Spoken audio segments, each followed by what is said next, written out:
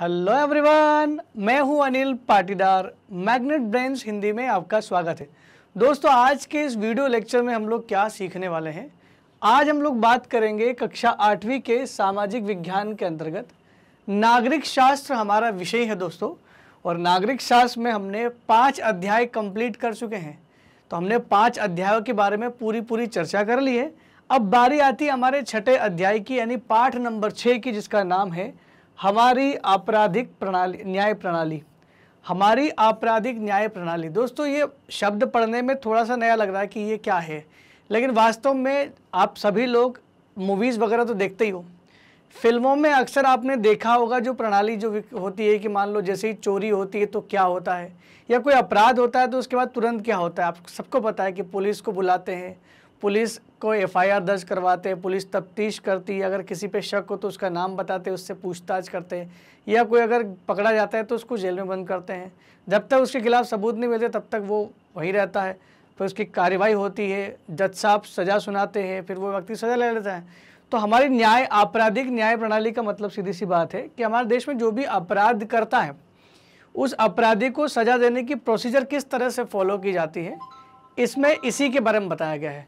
तो एक एक करके पहले देखते हैं, आज हम लोग शुरू करेंगे इसका परिचय कि हम इस अध्याय में एक्चुअल में पढ़ने क्या वाले हैं। कौन कौन से वो छोटे छोटे टॉपिक्स है जो इम्पोर्टेंट है, जिसको हम लोग इस अध्याय के अंतर्गत पूरी तरह से इसकी चर्चा करने वाले हैं। तो देख लेते हैं, सभी सभी टॉपिक्स की बात कर लेते हैं। पहला हमारा टॉपिक रहेगा, जिसका नाम है हमारी आपराधिक न्याय प्रणाली कैसी है। पहला रहता है, यानी अध्याय के नाम पे ही पहला है कि हमारी आपराधिक न्याय प्रणाली एक्चुअल में कैसी क्या है।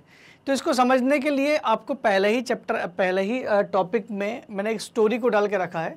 स्टोरी वही है जो एन में है। चोरी की एक कहानी है, शांति नाम की एक नौकरानी है जो चोरी करती है। और किस तरह से उस नौकरानी को, अब वो चोरी करती है कि नहीं करती है, ये तो बाद में पता चलेगा, लेकिन कहीं ना कहीं वो चोरी वाली घटना के बारे में ज़िक्र किया जाता है। और कभी कभार क्या होता है कि मासूम को भी जेल हो जाती है। तो इसमें ऐसी कुछ कहानी है। इस कहानी के माध्यम से हम और आप सवाल जवाब करेंगे। और देखेंगे कि कहाँ तक हमारी आपराधिक न्याय प्रणाली जो है वो कहाँ तक उचित है, या उसमें कुछ गलतियाँ हो सकती है तो कहाँ इस न्याय प्रणाली में चूक हो जाती है, या कौन से व्यक्ति इसमें चूक कर देते हैं। तो हम देखते हैं कि अपराध की जाँच में पुलिस की भूमिका। देखिए, जब अपराध की जाँच होती है तो हो सकता है कि पुलिसमैन से यहाँ पर गलती हो जाए। यह कहानी यही बताती है।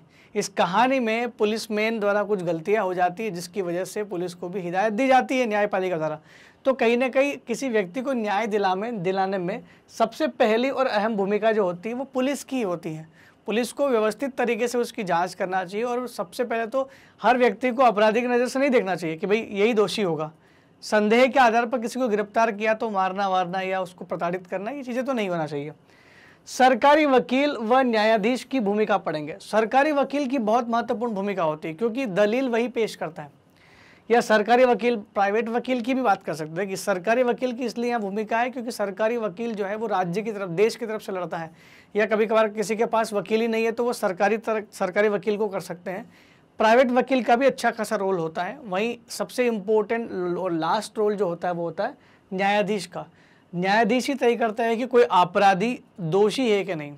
तो अपराधी को दोषी तक सज़ा देने का जो पूरा पूरा जो अधिकार है वो किसके पास में? वो न्यायाधीश के पास में। लेकिन कई बार लोग बोलते हैं कि क्या न्यायाधीश गलती नहीं कर सकते? देखिए, न्यायाधीश गलती नहीं करते हैं। न्यायाधीश के न्याय को देखकर लोगों को ऐसा लगता है कि गलत न्याय हुआ है। तो हमारे देश में तो व्यवस्था है ना, जो हमने प्रीवियस क्लास में पढ़ा था, अभी जस्ट हमने प्रीवियस लेक्चर में ही पढ़ा था। जब न्यायपालिका की मैं बात कर रहा था तो वहाँ हमने क्या पढ़ा था? हमने वहाँ पर पढ़ा था कि जब आपको निचली अदालत के फैसले से आप खुश नहीं हैं, आपको सहमति नहीं हो रही है या संतुष्ट नहीं हो रहे हो तो आप ऊपरी अदालत में अपील के माध्यम से जा सकते हो। क्योंकि हर एक अदालत के अपने अपने तौर तरीके होते हैं सबूतों को देख करके गवाह जवाब देने का या फैसला सुनाने का।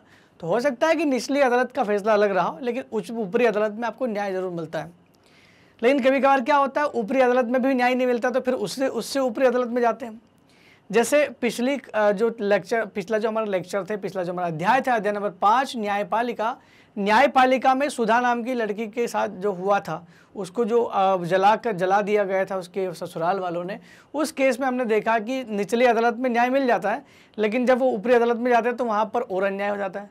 फिर वो उसके बाद और ऊपर जाते हैं, तब जाके आखिरी में न्याय मिलता है तो एक प्रोसीजर है ये। तो इसमें जज साहब की गलती तो नहीं मान सकते, लेकिन फिर भी जज साहब को बिल्कुल सवाल सबूतों के हिसाब से देना चाहिए फैसला। कुल मिला के ये बात बोलना चाह रहे हैं।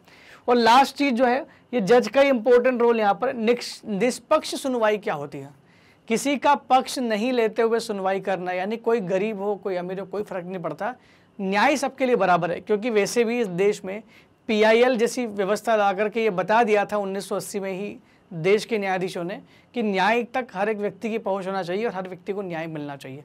तो इस परिचय में हम इन चार अलग अलग टॉपिक्स की बात कर रहे हैं और आने वाले वीडियोस में आपको एक एक टॉपिक के ऊपर एक एक अलग अलग वीडियोस मिल जाएँगे जो कि बहुत अच्छे तरीके से डिस्क्रिप्टिव फॉर्म में होंगे।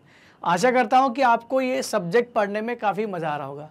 दोस्तों, अगर आपको हमारे वीडियो सीक्वेंस में नहीं मिल रहे। कई बार समस्या आती है, कई बार स्टूडेंट को लगता है कि यार यूट्यूब पे आपके वीडियोस जो है वो सीक्वेंस में नहीं मिलते। इतने सारे वीडियोस है, कहाँ तक ट्रैफ़िक इतना ज़्यादा है, कैसे ढूंढे? तो ढूँढने का दूसरा तरीका हमारे पास में है। आप हमारी वेबसाइट पर जाइए गूगल पर आप सर्च करिए मैगनेट ये हमारी वेबसाइट है। और यहाँ पर घबराने वाली बात नहीं यहाँ पर भी हंड्रेड फ्री ऑफ़ कॉस्ट आपको वीडियोज़ मिलेंगे, जो आपको यूट्यूब पर प्रोवाइड होते हैं। India's number one hundred percent free online educational platform आप जैसे ही सर्च करोगे ना, आपको ये पेज खुलता हुआ दिखाई देगा। अब इस पेज में आपको देखना क्या है? यहाँ पर आपको जाना नीचे C B S E Hindi medium दिख रहा है। C B S E Hindi medium पर जैसे ही आप क्लिक करोगे, उसके नीचे अलग अलग क्लासेस के डिस्क्रिप्शन दिए हुए कि बारहवीं है, कि ग्यारहवीं है, दसवीं, नौवीं, आठवीं, सातवीं, छठी, जो भी आप क्लास पढ़ना चाह रहे हैं। चूँकि आप आठवीं क्लास के हो तो आप कक्षा एट को ही टच करोगे। जैसे आपने इसको क्लिक किया, आपके सामने क्लास एट्थ के सारे के सारे टीचर आपके पास अवेलेबल हो जाएँगे। हर एक टीचर के नाम के नीचे लिखा होगा वॉच नाउ आपको बस उस वॉच नाउ पर ही क्लिक करना है। जैसे आप वॉच नाउ पर क्लिक करोगे, वैसे ही जो है दूसरा विंडो ओपन हो जाएगा, जहाँ पर आपको देखने को मिलेगा। हर एक टीचर जो इस टीचर को आपने सिलेक्ट किया, उस टीचर के बारे में जानकारी मिल जाएगी।